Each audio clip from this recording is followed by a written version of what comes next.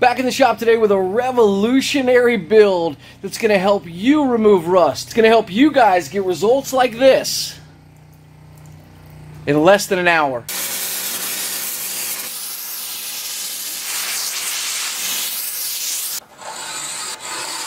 So we have our transducer set up here, and I kind of played with it for a little while, tried to figure out what would be the best way to do this. Um, you want full coverage, and they also have to be very firmly connected to the surface, right? They can't be any kind of wiggle wabble. You know, you can't have them sliding around. They need they need to get have a good solid press fit to it. Of course, we're going to be using epoxy, and these are sandblasted, and you need to sandblast the stainless steel so that the epoxy has a good tooth because epoxy is not really going to stick that well to this. Now, normally you would go to the bottom of the tank, but this tank has a drain in it, and there's a lot of of play or wobble in the bottom of that. This side is flat and it does not matter if you put these on the side or on the bottom. I've got to spot weld these onto the bottom, and um, they're a lot smaller than I thought. So my original plan was to turn that giant welder right over there into a spot welder, but I've got a auto body spot welder. Now this is not the Harbor Freight version. This is the real deal. Um, this is a really, really good high-powered one. And um, you can see in the Harbor Freight version, all the components are a lot smaller and weaker, and it just doesn't have the power. And uh, doesn't have that oomph, but this might. So what I did was, it's got these little tips right here, and this has a taper, and it still tapers in there, right? It still locks into place very well. I'm not going to push it in because you got to pry them out. But what I've done is I've drilled and tapped this to fit my studs. Okay, now they go in pretty easy, and they come out pretty easy. Problem is, I'm going to have to rotate the whole gun. Here's the other problem. This guy right here, this moves freely. So what I did was, if you've got enough threads on this, this usually sits in here about right there.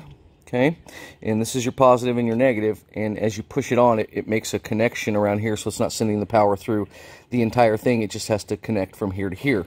Okay, so I extended that out a little bit so that if need be, I can lock onto this with like a pair of pliers, because as you can see, I can rotate that with my hand.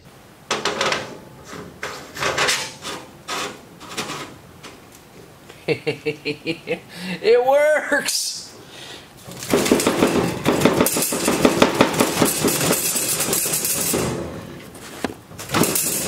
Yes, that makes me so happy. Okay, uh, I can get this thing off now.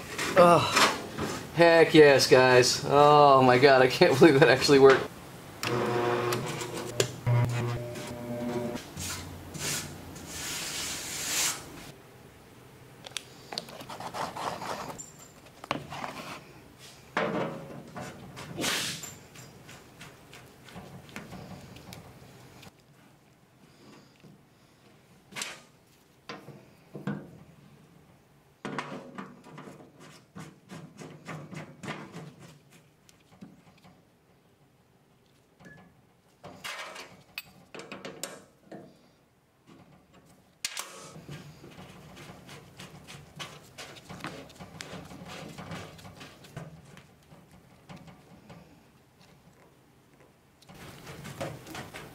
There are tons of people out there who do not have access to a spot welder who just simply glue these on and it works just fine.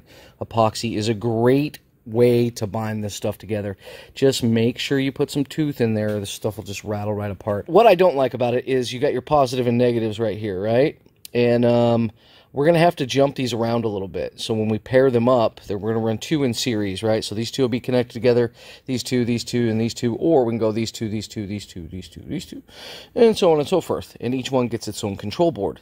Imagine these as speakers, and that uh, control board as an amplifier, and this is positive and negative on a speaker because that's exactly what these are. Um, they just resonate at a higher frequency, these transducers do. Doesn't that look awesome, though? Holy crap. I love it. Oh man, one thing I need to do, I keep forgetting. Um, these are oh, there we go. these are almost like capacitors, right? So they will. I'm gonna do it again. Uh, I don't want to do it. Uh, uh, okay, there's nothing on that one. They'll actually grow a charge. So if you um, touch the positive and the negative with your fingers, uh, they'll give you a little shock. So yeah, just kind of be careful. It's piezoelectric, so think of like the little uh, crystals in your lighter. You smash them down, you impact them. So any kind of uh, force on these guys, uh, it turns into electric current and gives you a little high voltage jolt. Um, yeah, so it's not bad, but it's just kind of it just it reminds you of what's going on.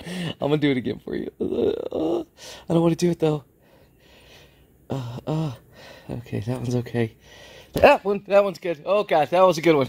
That that one was real strong.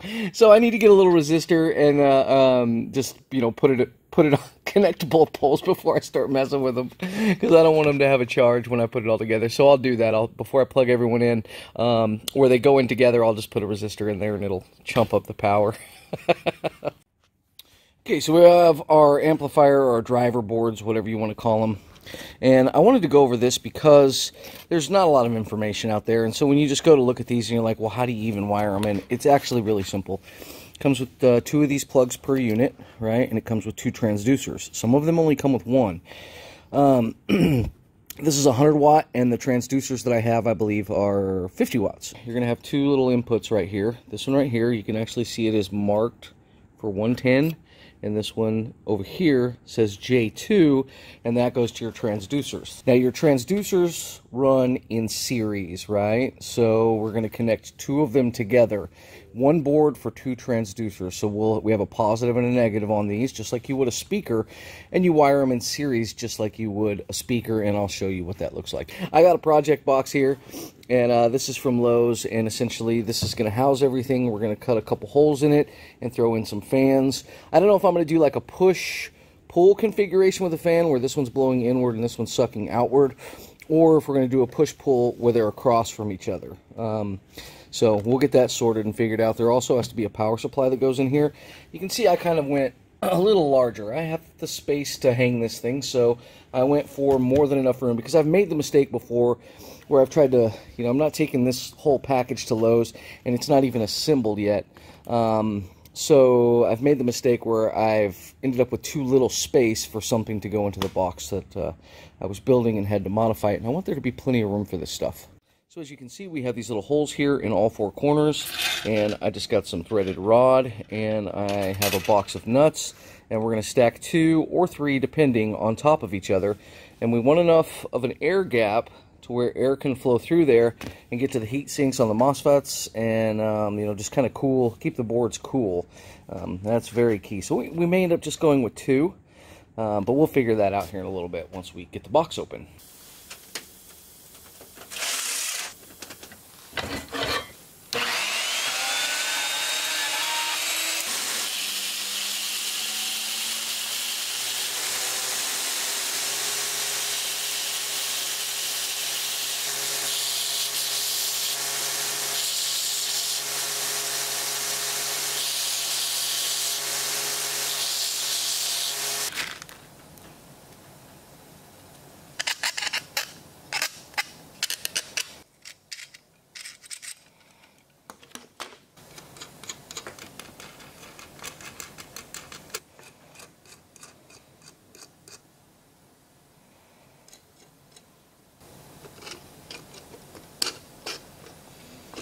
Be very careful while you're sliding this board down.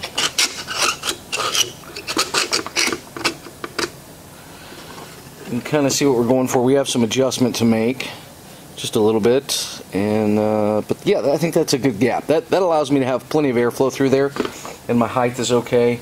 And then we've got one more going on top. I'm always looking to make things a little bit more streamlined and faster when I'm doing something that has repetitive. Your first one, you build it, you see how you want it to go together, and then the second one, you try to look for ways to speed up the process a little bit. One way to speed up that process, or one example of that, is put the screw on for the next one so you're not running it down, and then put your top one on, and so two nuts on every one to start off with. The second one can stay pretty low. You'll want this one kind of high. The only component that anything is close to on this side, including the bottom with your solder lines, your trace lines, you got to make sure that you're not connecting this with any trace lines. So anyway, just pop that in the bottom. Get enough room for two nuts.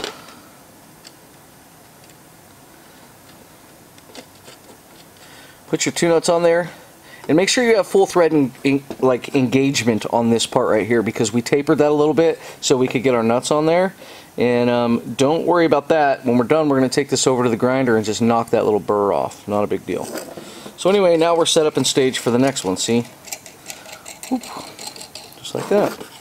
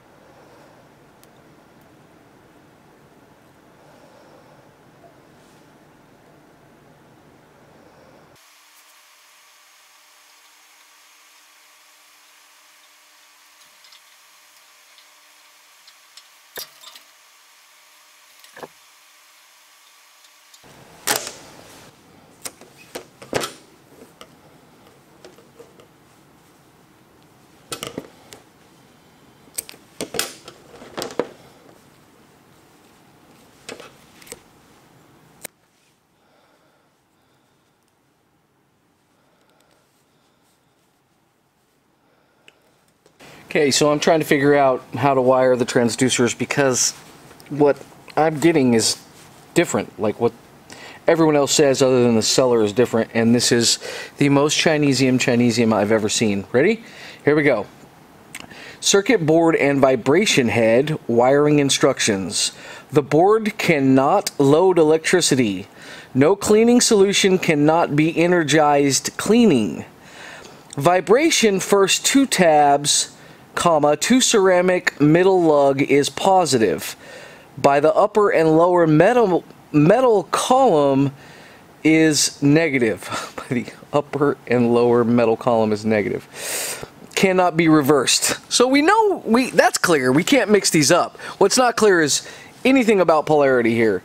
Uh, transducer film on ceramic sheet cake goes into a bunch of different weird stuff. Vibration head or transducer ceramic glue application. Yeah. Um, head stock stick firmly to pelvic floor cleaning. I am not kidding. That's literally what it says. Positive and negative respect respectively positive and negative output coupled with the oscillator cannot be wrong. We have questions. Timely advice to ensure safety. Remember to wash pots and reliable grounding and the power leakage protection switch to ensure safety. Oh, China. China, China, China. I love you. Okay, as per our instructions, we have all of our units mounted to the pelvic floor. Almighty. I don't want you to spit your coffee out. Um, next is uh, wiring this bad boy up. Hopefully this will help you guys out. We've got this set to continuity. Now I want to show you. Nothing there. We have continuity there. So we come down here. We have continuity, which means this tab is connected to this and this. So See that? And also the tank. So this is going to be our negative. And that is actually touching, depending on your unit, it could be touching here or it could be touching up here, but is making direct contact with that and the bolt. Right? And the one that floats in the center is just on the um, uh, ceramic uh. So, so you shouldn't get any continuity. So positive is sandwiched in the middle and that should help you out. Now each amplifier will run two of these. The question is, do we run them in series or parallel? Well, um, these are both rated for 50 watts. The unit over there actually says 120 on the side, but in the advertisement it says 100. So I think we're going to run these in parallel, um, which means we're going to go to positive to positive and negative to negative. Okay, and the reason I'm going to do that is uh, I've I don't you can run these in series, right? But the problem is if this system's not, that amplifier's not made to run at that ohm load, then we could potentially damage the amplifier. So the safest bet is what we're going to go for, and that's just going to be running it in parallel, okay? So these two will be together here, here, and here. So we're going to go positive, positive, negative, negative, positive, positive, negative, negative, and we're just going to connect those two lines to the amplifier. So I'm taking a second to uh, tin my wires. Because it doesn't take long and it just helps with soldering so I've got the helping hands here and um, that makes it a lot easier. So I can do like four at once. Bam! I'll put a link to all this crap in the description so you guys can find them but these are cheap and uh, I like them they've, they've been really good so far. Just throw them in there like that Get some heat on there. Let your solder carry the heat. This solder gun that I'm using has a lot of power and so this happens really fast. You don't have to sit around and wait for it. There you go.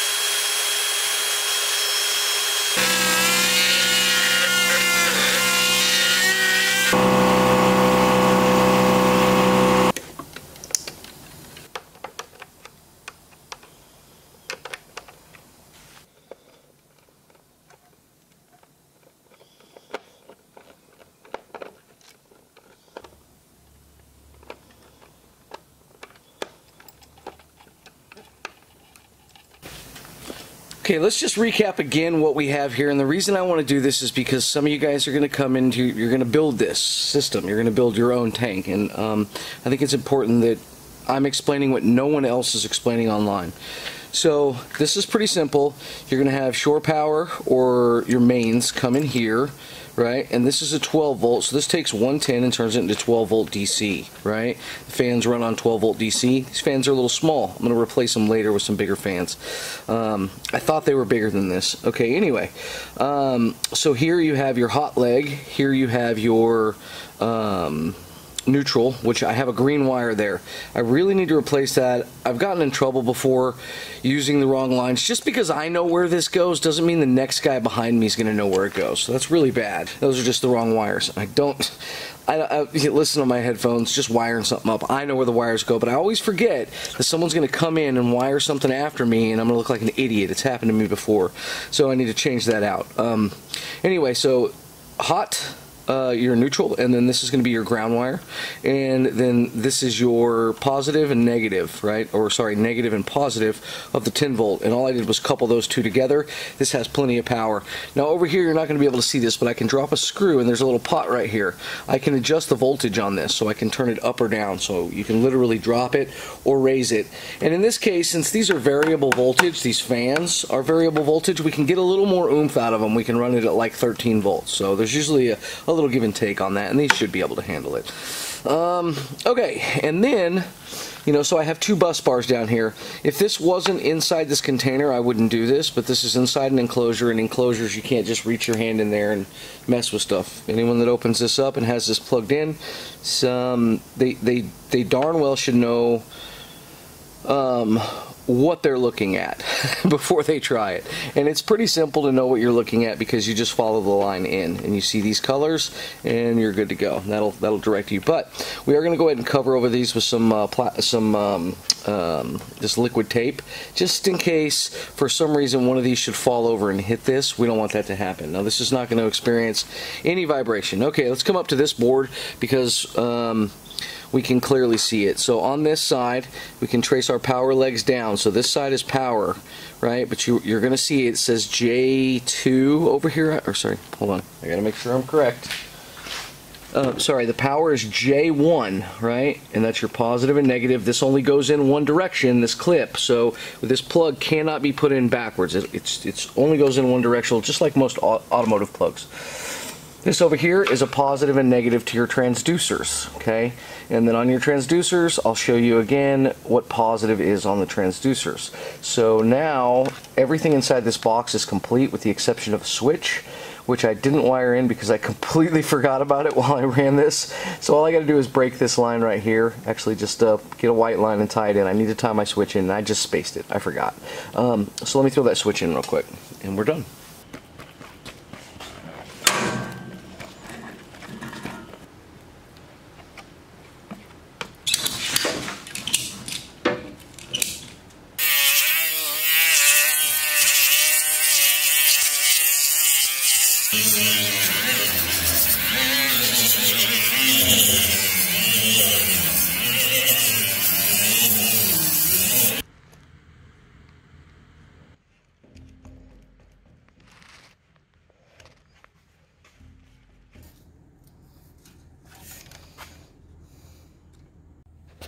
Okay, all the wiring's done. I've got everything neatly tucked in here.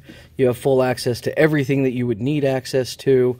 Um, we are, uh, this box is connected to Earth, and all that's good to go. We have a switch. Originally, I was going to mount this box in a different location. I decided to go ahead and go underneath. So, when I power it on, um, I already drilled a hole to have the switch like right here, and I'm going to go ahead and leave that there. I was thinking about moving it to the front, but um, you know, if there is any splashing, it's going to be right here on this side.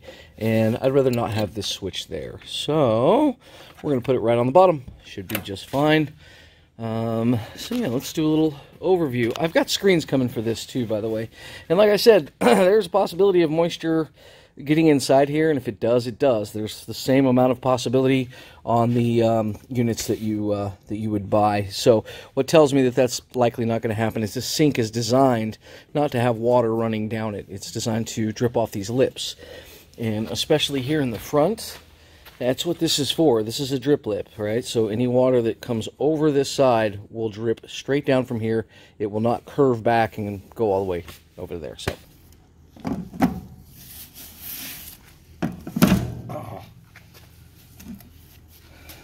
Being very careful to make sure we don't get electrocuted because while everything seems to be hooked up okay, I don't know about these Chinese components. There could be a short in these before I even turn this on.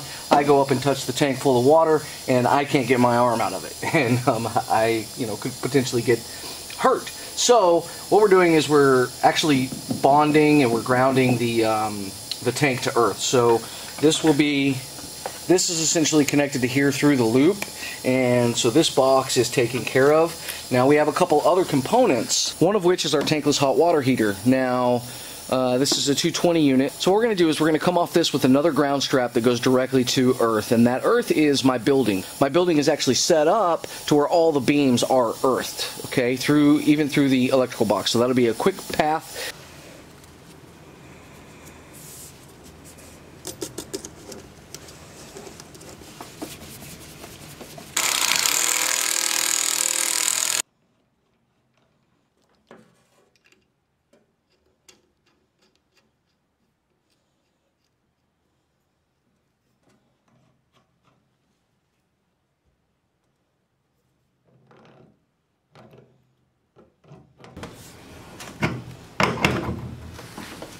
This is also a good way to show you how secure this is. A lot of people don't get the epoxy's that tough.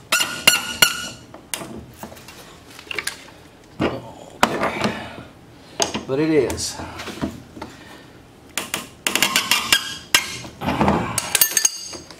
Okay, it's about 10% chance that'll work.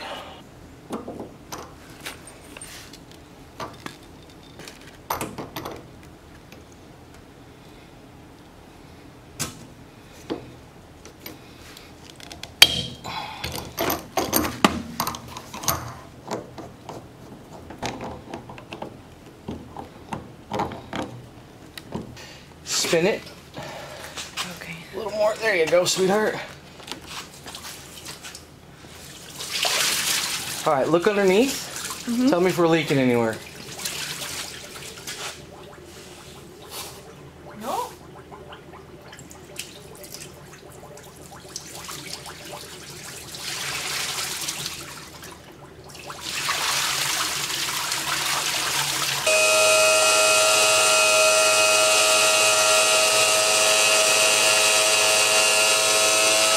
go. I'm away from it. It'll blow a breaker.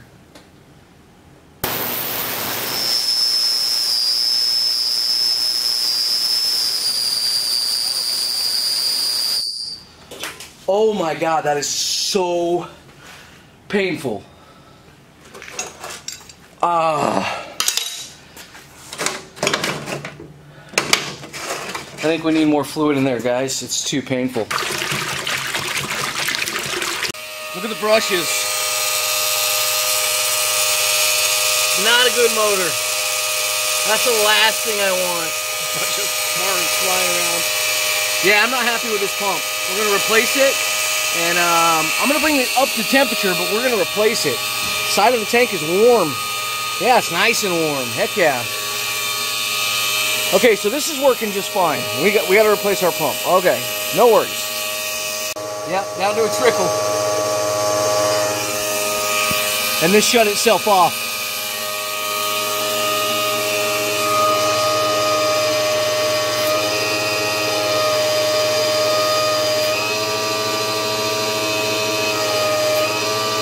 Okay, so she's not leaking. That's I keep disconnecting all these cables and everything, and um, kind of pumping air through here. Here's what I figured out. this first off, this was a little nasty inside and it had to be cleaned out. So it was probably a dirt dauber. I got that cleaned out. We're good to go. This guy down here, no way, ain't gonna work. I got a new pump on the way that's gonna it's gonna be the same price, but it's got a lot more uh, psi to it, a lot more flow, and so it's gonna work with our system. So this guy's got to go, and which is good because I hate this. Um, but this was a good test phase, and yeah, man, I'm I'm excited. I'm real excited. We got some amazing results. So this is the Inkbird controller, and what it does is shut the tank off at a certain temperature. So I can hold in set right here and I can drop this temperature down to say 125 so that'll be a comfortable temperature right there. And we'll hold it down. It does a lot more stuff than this but that's all we really use it for now. Well we can go in here and do this. Watch. Hold it down. Now I can determine how many degrees difference so if that drops two degrees or we'll make it five degrees so once this drops five degrees it will turn off the pump. The pump, in turn, will turn off the heater because this requires flow and pressure to be activated. So this is just on all the time, but it only uses electricity when it kicks on. This is running on 220. Our pump is 12 volt, and this is the pump that I ended up finding. It's actually from my RV. We have an old dilapidated RV. I want to do a restoration on that pretty soon. But this pump right here is the only pump you can get, well, the cheapest pump you can get, that will uh, actually allow pressure and we just have that running to a 12 volt power supply. I had some issues with not enough fluid getting it was a little restrictive like these things work great when you when you're dealing with like 60 80 100 psi but it was a little too restrictive and so I went ahead and removed it. Our flow is great. That's the flow we want and we're kicking it 138 we can kick it to 100 140.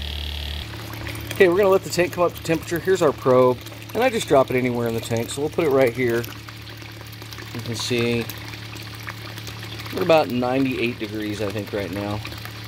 And in 10 minutes, she'll be up to 140 or 126, and then she'll shut down. Side probably looks worse. We're to go with this side. We'll face that to the sounders. Now, whatever side you face to the ultrasonic sounders is going to clean off um, considerably faster than the side that you do not face towards the sounders. Just the way it is. It's going to get more of that vibration hitting it directly. We're back up to 120. She climbed up in about a minute and a half. Um, it heats really fast, guys. And side of this tank's pretty warm. Okay, so it's 317. And we're going to see how long it takes. I'll just turn the camera back on when we hit 125. Okay, we're at 125. It's 319. So just a couple minutes it shot up there. And now we're just going to wait here. Up oh, there it goes. Actually, there's an easy way for me to show you that. I'll just pull this out. Temperature gauge is out. Turns on all by itself. Drop it back in.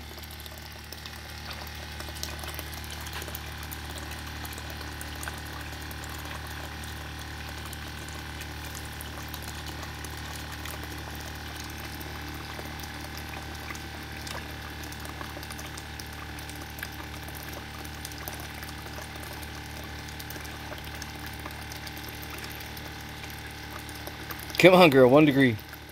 Everybody's waiting.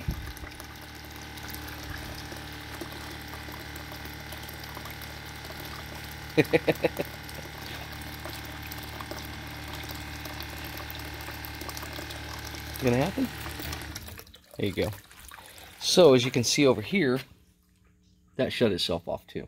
Okay, so we'll just give you a good look at this guy. Um, let's find the face we want. Yeah, that's the nasty face right there. So there you go. She is gnarly. Okay, I'm going to put it in there right now. Okay, the anvil is in the tank, and um, it looks like the Evapo-Rust already started to attack it. So now all we have to do is flip the switch, and you will not be able to hear a thing. It'll kick all these guys on. It's going to be loud.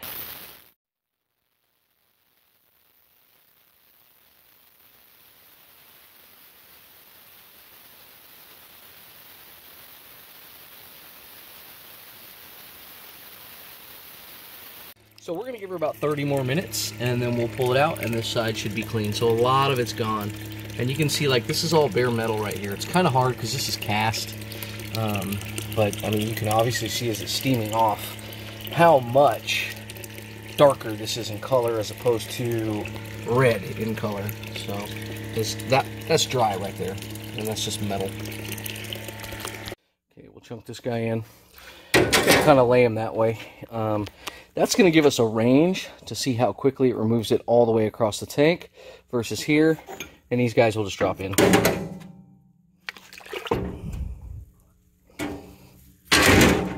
Beautiful.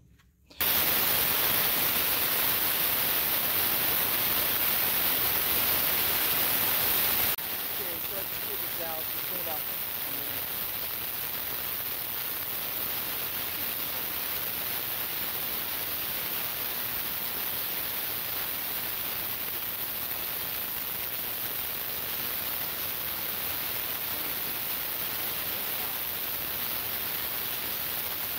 Clock again. Just so you know I'm not messing around.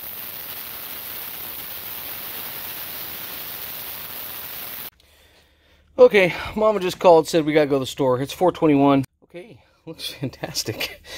I'm very, very impressed. Look at that. That's bare metal, guys. There's zero rust there. There's one little pocket. Um, no, that's not even rust. Once again, we'll show you the time, 423. I'm to put a link in the description for you guys to go get all this stuff. So I've got a really, really neat project that's coming up after this one. And, um, yeah, the shop's just, you know, getting built. There's tons of tools that I've always wanted to build, and now I'm starting to build them. I think this is going to be fun, and I'd like for you guys to join me. I got the piston. there you go. Already know. Oh, even all that carbon's gone. Oh, look at that. It's breaking it up. Wow. That is too cool. See that, that real thick carbon right there?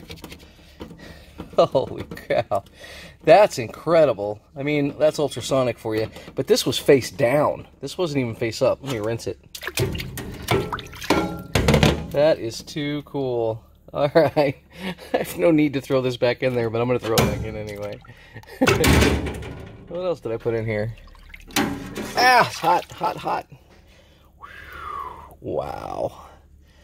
That's incredible. That was facing the ultrasound and or ultrasonics, and that was not. Still, both sides completely removed rust. That's just like damn near polished. So cool.